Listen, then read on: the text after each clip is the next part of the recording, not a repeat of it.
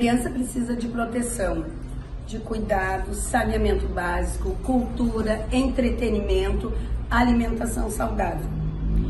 Diante disso, então, resolvemos fazer um projeto Feira da Fruta, onde incentiva os pequenos a uma alimentação saudável e, consequentemente, uma infância mais feliz. Vamos fazer bem alto. Bananinha, melinha, amarelinha com sol. Com, com timontão é desse e sol. Ah, que legal, Paulo. Eu me chamo Laranja. Meu chute faz muito bem.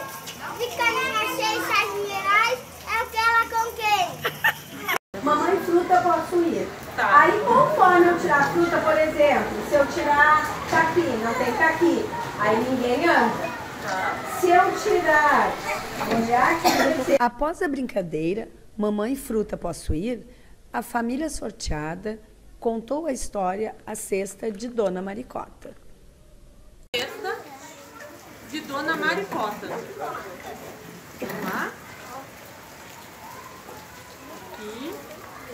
Dona Maricota, boa cozinheira, voltou com a cesta cheinha de feira. Ó, pessoal, Dona Maricota voltando com sua cesta cheinha de feira. Percorremos o mundo das histórias, das músicas, dos experimentos e fortalecimento dos laços entre família e escola. A brincadeira tornou-se assunto sério em nossos encontros, pois a cada fruta provada, a cada cheiro, as crianças faziam mais perguntas e constatações. Aprendemos como são as árvores, do que as plantas precisam para viver, os chás, os remédios, alimentos e os produtos que podemos fazer. Assim fomos percebendo a importância das frutas e desenvolvendo a criticidade das escolhas. Temos agora uma frutinha para nos contar o que aprendeu. Oi, eu sou a Fernanda. Eu vim apresentar o maracujá.